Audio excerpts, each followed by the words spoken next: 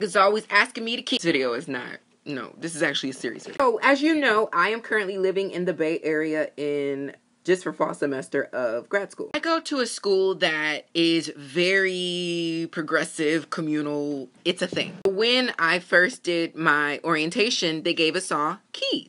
These keys open up certain doors. I mean, they don't really have access to a lot, but basically you can get in the building whenever you need to. And there's certain like pantries and things like that that you have access to. So like the goal of it is to let you know that you're a part of this community. You belong here. It's beautiful. Recently, I started working at the front desk of my school and I was supposed to get new keys. This key is called the X key and the X key gives you access to everything. So on my first day, the guy with the keys comes to give me the X key, but I don't know what's called the X key. I just know it's the key that I need now that I work at the front desk. He hands me my key and then he says, This is your X key. And I look down at my key because I'm supposed to give my original key back to him in exchange for the X. I look at my key that I've had since I started school here in January, and my key is an X key.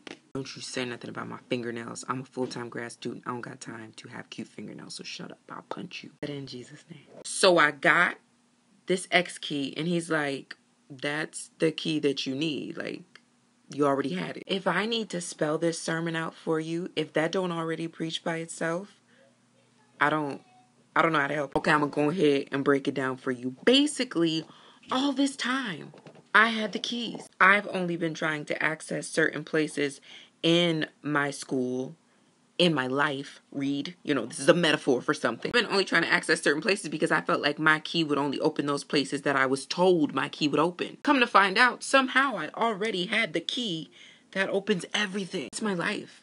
I limit myself by just trying to open the doors that I was told I could go through. When really all along, I got the key. Preach, Eb.